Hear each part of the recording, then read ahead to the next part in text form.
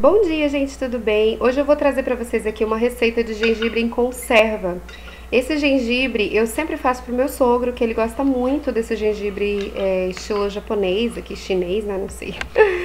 Enfim, oriental aqui, esse gengibre em conserva é muito gostoso, faz muito bem pra saúde e é super prático de fazer.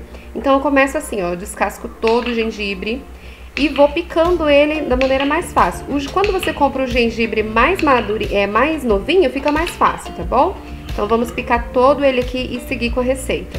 Agora eu vou colocar aqui o gengibre para ferver, por mais ou menos uns 10 minutinhos para tirar a parte mais forte dele, pra gente fazer a conserva depois. Nessa vasilhinha eu vou colocar aqui meio, meio vidro de vinagre de maçã. Eu tô usando vinagre de maçã, mas você pode usar qualquer vinagre que você tiver aí na sua casa, tá? É que eu já tenho o costume de usar o vinagre de maçã, que a gente aproveita os benefícios dele. É, depois disso, a gente vai vir então com o açúcar. É uma xícara e meia de açúcar. Então vamos lá, ó. uma xícara e meia xícara de açúcar.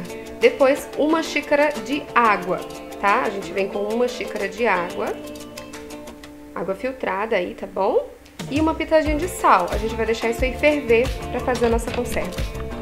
Agora que já ferveu o gengibre, eu vou escoar ele aqui.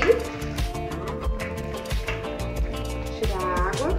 Pra quem gosta de chá de gengibre, pode utilizar essa água, tá? Mas como a gente não vai utilizar ela aqui, eu vou jogar ela fora mesmo. Ó, aí dá uma lavada nele aqui, bem lavadinha.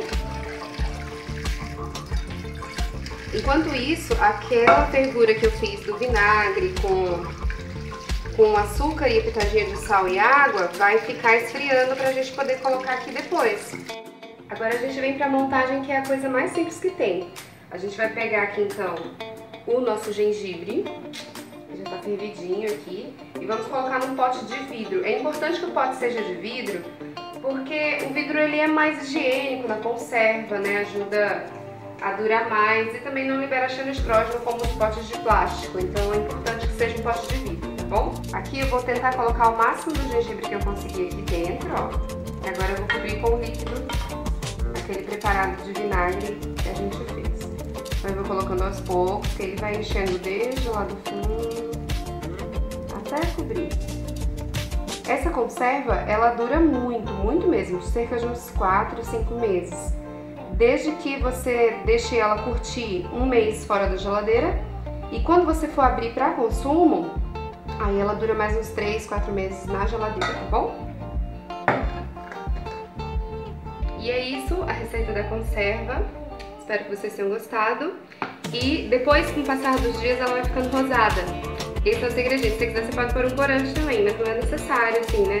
Porque o gengibre já solta essa tintura rosada dele. Então é isso, espero que vocês tenham gostado da receita. Se você gostou, já sabe, né, aquele clichêzinho sempre. Clica no gostei, se inscreve aqui no canal, deixa seu comentário, né, sua dúvida, ou o que você quiser escrever aí. Se não gostou também, fala o que, que você não gostou pra gente melhorar aqui os nossos vídeos, tá bom?